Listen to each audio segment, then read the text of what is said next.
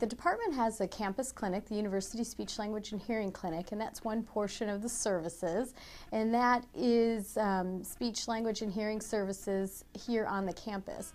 Um, but we also have a community outreach program, and that is the program that um, I've been working with most closely, and that is in the out in the community. So we have several sites that provide speech language evaluation treatment services in the community. We do have some outreach with the third ward, and we did uh, a collaboration with the Houston Independent School District nurses this year to provide some training for them.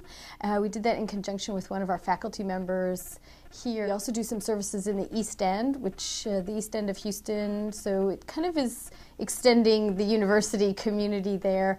Uh, we do have a preschool that we provide services there, preschool for children whose parents are in a homeless shelter and going through homeless um, services and rehabilitation services. So we provide services to their preschool.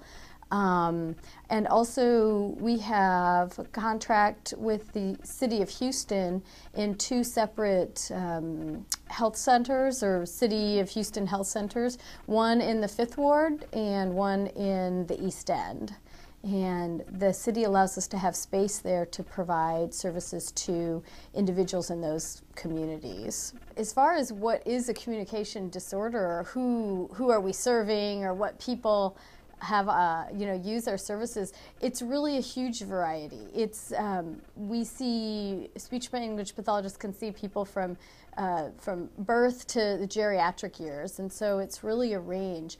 Um, typically people in the kind of birth to three children in the birth to three range would be seen for um, developmental problems or uh, things like Down syndrome or um, maybe uh, congenital hearing loss at birth um, in a variety of developmental disorders. And then, of course, the preschool and school age population is a huge portion of, of the population that we see, and this can be from uh, language disorders, articulation disorders, phonological disorders, hearing problems that result in speech or language problems, and um, language and literacy problems as well. Once you get up to the adult age, there's really um, there's a variety of of things too that speech pathologists work with people, and that could be um, different difficulty in speaking, swallowing, or using language as a result of a head injury or a stroke or a degenerative disease like um, ALS or Alzheimer's.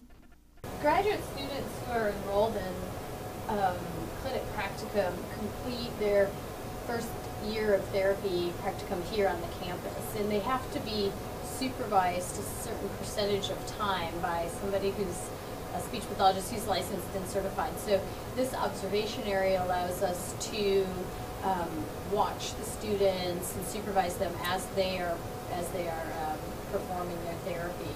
Um, we also have the uh, Landro digital anal play analyzer that allows us to digitally videotape the sessions so that the supervisor can watch them either at a later time or record them and keep clips of them for, for teaching.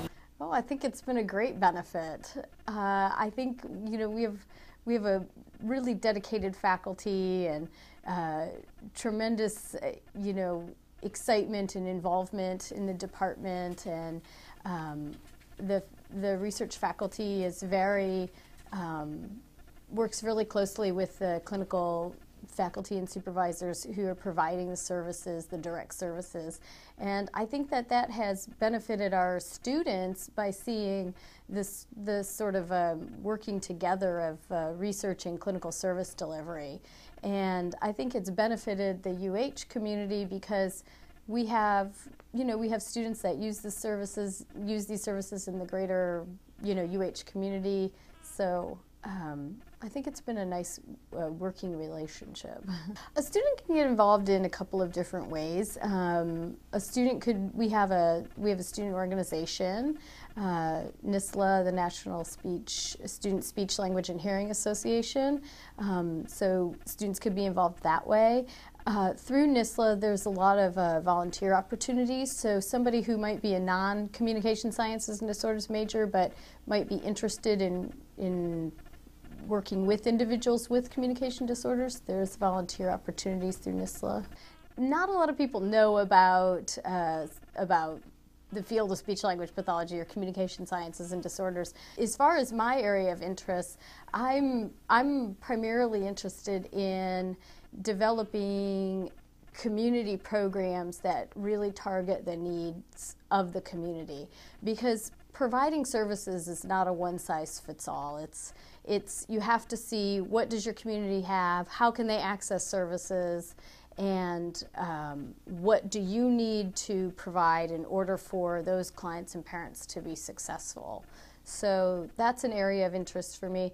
Another area of interest that i have is um, in looking at um, learning disabilities and um, how those manifest themselves in uh, adolescence, and um, as well as uh, another area is early identification of speech and language disorders in the preschool population, and how early identification and remediation helps with school readiness and bringing children that have speech and language problems up to the level of their typically developing peers so that they can enter into school with their typical peers.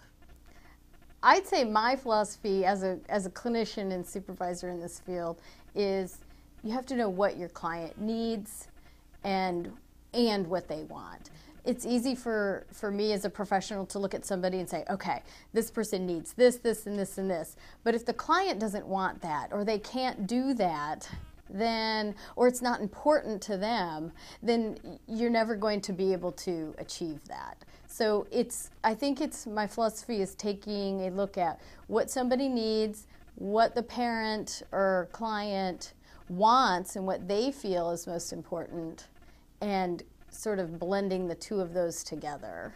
I think speech language pathology is such a, a broad and diverse field, and it's very um, it's very rewarding. I think both for the people that practice it as well as the individuals that that uh, seek it out.